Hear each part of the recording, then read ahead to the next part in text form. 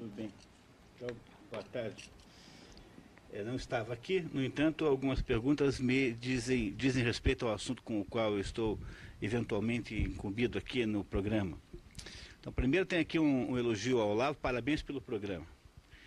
E aí pergunta assim, existe uma forma para resolver os problemas da área cultural, corrupção?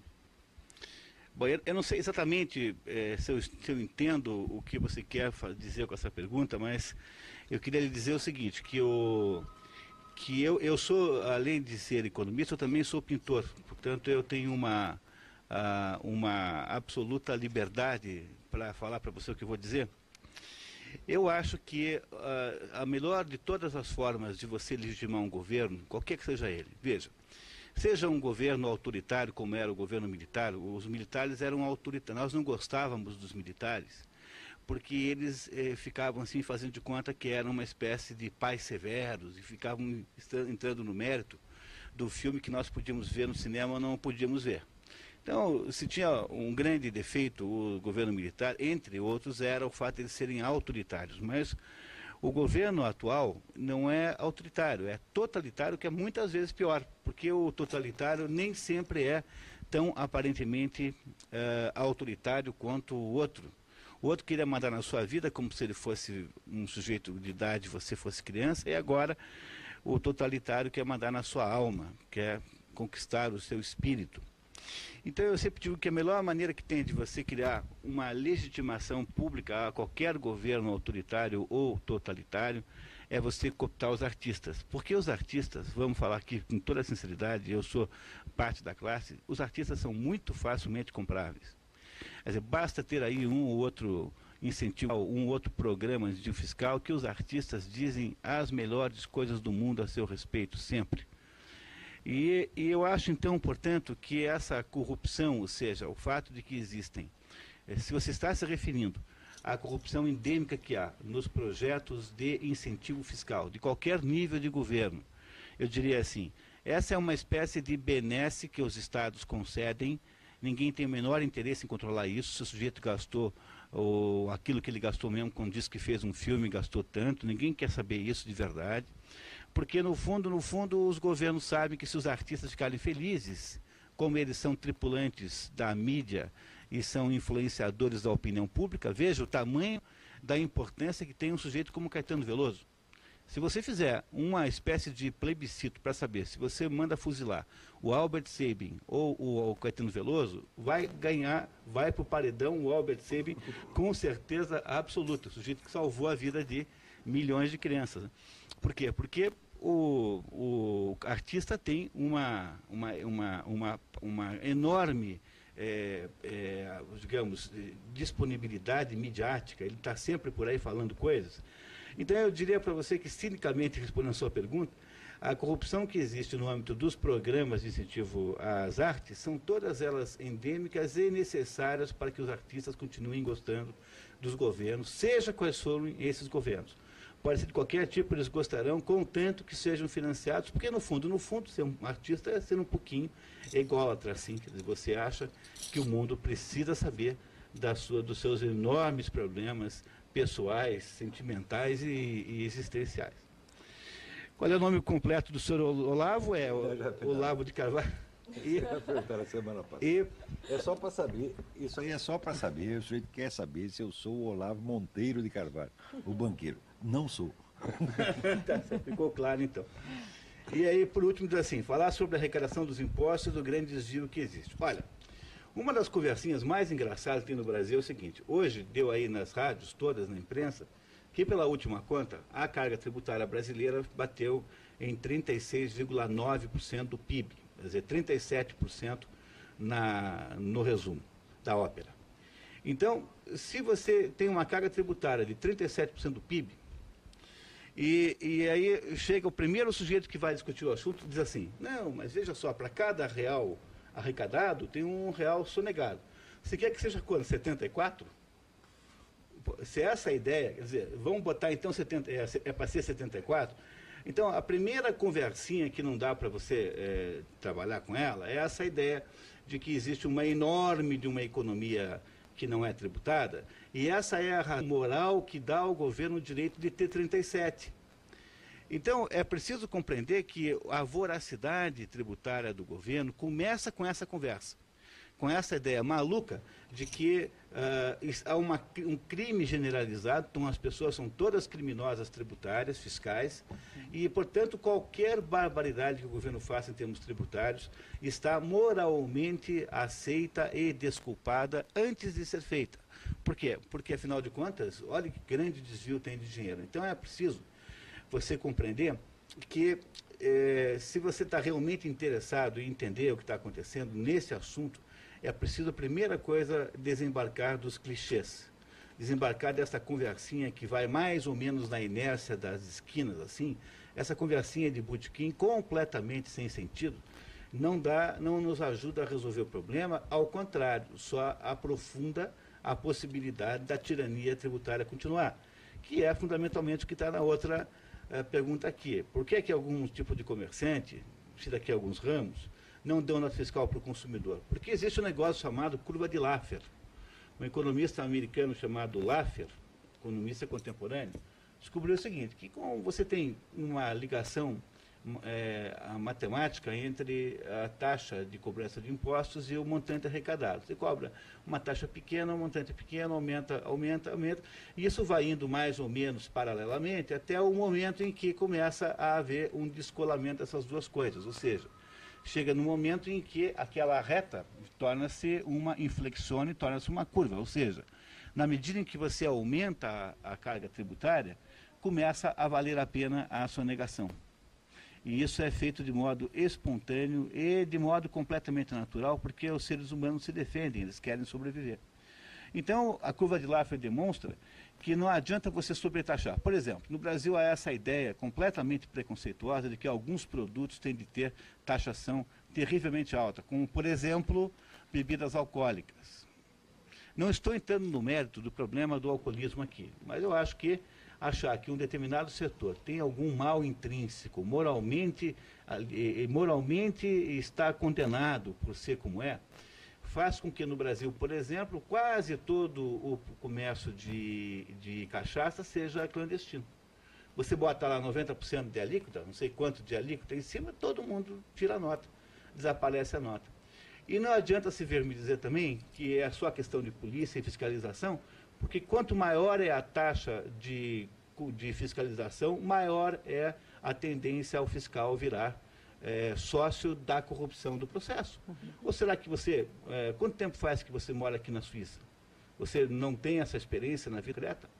Quer dizer, nós já devíamos ter aprendido aqui no Brasil o seguinte, que toda vez que você tenta fazer as coisas por aquele critério completamente maluco, de que tudo que é lógico tem que funcionar, Veja, sempre há dois modos de você inventar uma restrição à ação dos outros. Ou você parte da ideia de que tudo aquilo que é lógico tem que funcionar, ou você parte da ideia de que tudo aquilo que funciona deve ter alguma coisa de lógico. Se você está no primeiro caso, um, um, país que acredita que tudo aquilo que parece ser lógico tem de funcionar na prática, é o país da lei que não pega. Porque é só lógico nos jogos de palavras da maluquice dessa gente porque no, no Congresso Nacional tem lá um monte de gente maluca pensando em coisa completamente endoidecida e achando que isso tem que pegar aqui na vida real. Não vai pegar. É por isso que o Código de Trânsito não pega, é por isso que a legislação tributária não pega, e é por isso que quase todas as vezes não pegam. Por quê? Porque lei no Brasil é um processo de delírio. O pessoal fica inventando coisa maluca e na prática não funciona, porque a prática é, ela, é, ela é refratária a isso, porque a realidade tem forças, a estrutura da realidade tem forças maiores do que isso. Então está na hora de olhar para o problema tributário mais ou menos por esse jeito. Dizer, é preciso que a carga tributária seja pequena, seja simples e seja pagável. Se for pequena, simples e pagável, então todo mundo paga imposto e aí a coisa funciona. Toda vez que você acreditar que é um problema de aumentar a justiça tributária, sofisticar o, o sistema tributário, toda essa conversa é só uma maneira do Estado ficar rico e você pobre. E toda vez que alguém lembra da ideia de fiscalizar mais, só está conseguindo enriquecer a vida dos fiscais corruptos, que não são poucos no Brasil. E você, Munir, o que você acha da reforma? Eu, sobre a reforma universitária uhum. em si, não tenho menor, nenhuma informação, não posso falar nada. Uhum. Agora, eu queria dizer que, em tese, outro dia estava uma polêmica enorme no Brasil. O Brasil é especialista em fazer polêmicas superficiais, né? Porque, como nós somos muito epidérmicos, então nós sempre olhamos para as coisas epidermicamente. Então, outro dia descobriu-se aí, um, acho que foi o Fantástico que se encarregou de, de levar isso, transformar isso no escândalo nacional número um descobriu-se que um determinado analfabeto havia sido é, matriculado numa universidade qualquer, aí, não sei, universidade federal aparentemente.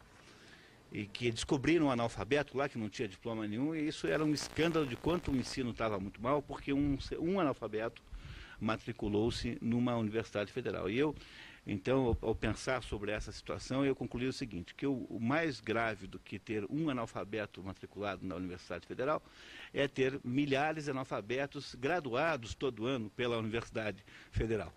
E, pela Federal, pelas outras, etc. Quer dizer, então eu, eu tenho a impressão que o, o debate, embora eu não conheça especificamente esse, mas o debate sobre educação no Brasil é um debate meio fora de foco sempre em que a gente não está preocupado de fato com o conteúdo do que está acontecendo, é, mas fica preocupado com as uh, aparências. No fundo, é tudo debate sobre direitos.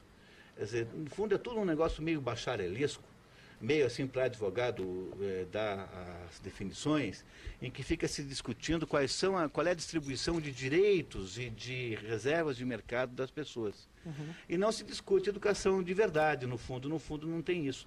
Então eu espero que esse debate aí pelo menos eh, rompa essa regra e vá direto ao ponto, ao fundo. Mas eu acho que eu podia até complementar o que eu disse. Olha só, quando havia ditadura militar, eu ainda era assim muito jovem, eu me filiei ao PT, porque eu achava que era uma maneira, que era um movimento capaz de fazer uma pressão contra ela. Depois eu me desfilei há muito, muito tempo. Mas hoje eu diria assim com sinceridade, eu acho preferível um general autoritário, que pensa que manda naquilo que você pode assistir ou não, do que essa gente absolutamente totalitária que estão conseguindo destruir todos os direitos fundamentais do ser humano. Veja, se você for olhar para qualquer teoria sobre direitos humanos, no fundo, você tem direito a três coisas. Tem direito à sua propriedade, você tem direito à sua liberdade e você tem direito à sua própria vida. Bom, na hora em que você desarma a população civil, você destruiu o direito à defesa da sua vida e da sua propriedade. Na hora em que você relativiza o direito, por exemplo, da propriedade da terra, como é o caso dessas encrencas do MST aí, você está destruindo e relativizando, por extensão, qualquer outro direito.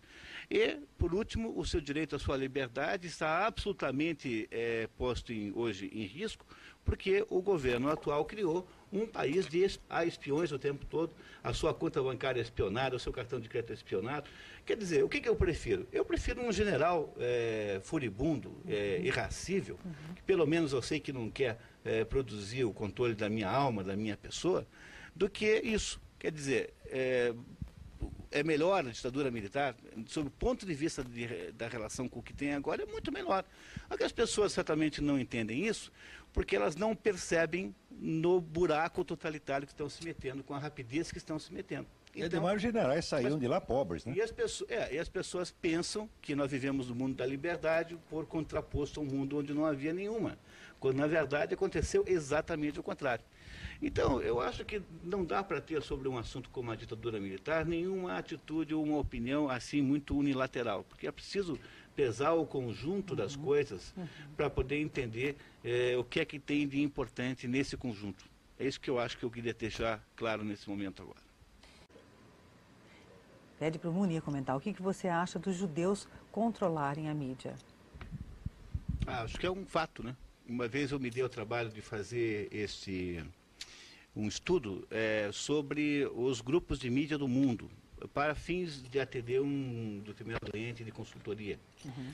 E, a, e o resultado é que havia uma concentração crescente de propriedade da mídia internacional, sobretudo porque há uma, uma crescente digitalização, quer dizer, os, os, os, as tecnologias de mídia vão ficando cada vez mais próximas. Então, há uma tendência natural a que a, se formem conglomerados de mídia é, que, que, que são cada vez mais abrangentes e mais ecumênicos em tecnologias. Então, de fato, se você olhar para essa análise, você verá que a maior parte dos proprietários internacionais são judeus. Mas, no entanto, se a sua pergunta é, está aí para dizer que este fato em si, per si, é, implica numa acusação a que os judeus controlem a informação internacional, eu já tenho dúvidas. Porque, como o, pela própria natureza, o processo midiático é extremamente, extremamente diversificado, então talvez não haja muito modo de controlar na prática, porque os indivíduos ligados a isso, quer dizer, os autores, o pessoal que produz os conteúdos na prática, são de certo modo incontroláveis, é como professor. Não há meio de você impedir um professor que dê a aula que bem entenda numa sala de aula. Uhum. É, porque na prática a aula é uma coisa, a, a, a, ação educacional é uma ação fragmentária e capilar, assim, ela é fragmentada e capilar, ela acontece o tempo todo.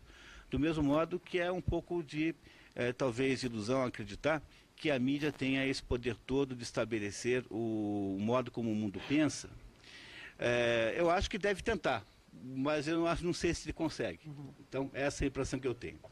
Eu, eu, acho que, agora falando como economista liberal, esta ideia é uma obra-prima de cretinice e imbecilidade. Não é possível descrever essa ideia de outra maneira, porque ela é absolutamente contra qualquer, qualquer hipótese de liberdade humana. A última das liberdades que se vai ter no país, já que as outras todas estão sendo levadas de roldão, então a última liberdade que se havia era de poder tomar lá um uísque um, um ou uma caipira ou um, qualquer coisa lá para você uh, combater as mágoas de estar vivendo num país de malucos totalitários, num, num verdadeiro hospício, dirigido por intelectuais semi-analfabetos. E é, é, essa última liberdade que a gente tinha agora está em perigo porque alguém resolveu botar essa cretinice. O sujeito que tem essa, essa, ideia aqui vai ficar na história mesmo, no panteão dos cretinos, como tendo, uma, tendo tido uma ideia absolutamente incompatível com qualquer espécie de... Você percebe que isto prepara o toque de recolher. Tá certo? O toque de recolher é meia-noite está todo mundo em casa, exceto, evidentemente, os delinquentes. Então a rua ficará entregue aos policiais e aos delinquentes. Note que se as coisas continuarem no rumo que estão, a regulência meia-noite está todo mundo em casa, exceto, evidentemente, os delinquentes. Então a rua ficará entregue aos policiais e aos delinquentes. Note que se as coisas continuarem no rumo que estão, dentro de poucos anos esta medida será adotada. É sempre assim, você permite que se crie um problema, vamos dizer que ameaça toda a sociedade, porque o banditismo foi criado com a complacência desta mesma gente que está no poder, porque eram todos adeptos do Herbert Marcuse, né? eram adeptos do lumpen-proletariado, adeptos do, da marginalidade, etc, etc. Então deixaram isso crescer para agora usar este mesmo problema como pretexto para nos controlar. Tá certo? Então é assim que se implanta o regime totalitário. Lendo o livro do Hermann Rauschning, é, A Revolução do Nihilismo, como se formou, vamos dizer, a, Revolução Nazista. Você deixa criar um problema social terrível, para depois você poder alegá-lo Tá certo? Não para controlar o problema social, mas para controlar as vítimas dele. Tá certo? E olha, também é preciso não esquecer que essas atitudes assim, bom-mocistas e simpáticas, são típicas de países totalitários e regimes autoritários. Por exemplo, o primeiro lugar da história em que teve uma lei antitabagista foi no governo nazista, na Alemanha. E Hitler, além de ser tabagista, era vegetariano, tornou-se lá vegetariano num certo momento da vida. Então eu acho que a gente precisava parar com isso, sabe? Olha, falando agora como economista liberal, essa história do governo ficar se metendo, se um determinado bar pode ou não pode ter fumo, é o seguinte, esse não é assunto para o governo se meter. O bar que põe na porta uma placa diz assim, aqui é aceito de fumantes. Se você não é fumante, se você não gosta de fumaça, você vai procurar outro.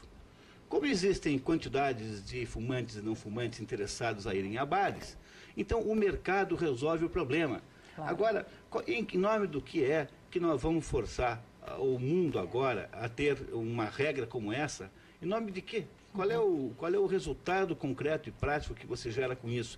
A não ser criar mais uma intervenção totalitária na vida das pessoas, intervenção essa que as pessoas não percebem que está aos pouquinhos reduzindo absolutamente o seu poder de, de livre-arbítrio e de autodecisão. É isso que está acontecendo nesse mundo atual, que é o problema central. É isso que nós temos que reclamar uhum. e temos que combater aqui. Você viu? Eu, eu, eu penso que a, a, a que a gente não deve deixar de perceber é que o, o que nós estamos vivendo é uma espécie de pesadelo totalitário. Uhum. É isso, é, é, esse pesadelo totalitário, ele traz toda noite um sonho horrível diferente. Nós vamos nos sucedendo, é uma sucessão de pesadelos. E esses pesadelos todos que nós vamos tendo, um dos capítulos importantes disso é a destruição do poder de defesa do sujeito decente. Aliás, se há alguma coisa que a sociedade faz é perseguir as pessoas de boa índole. Então era isso que eu precisava dizer.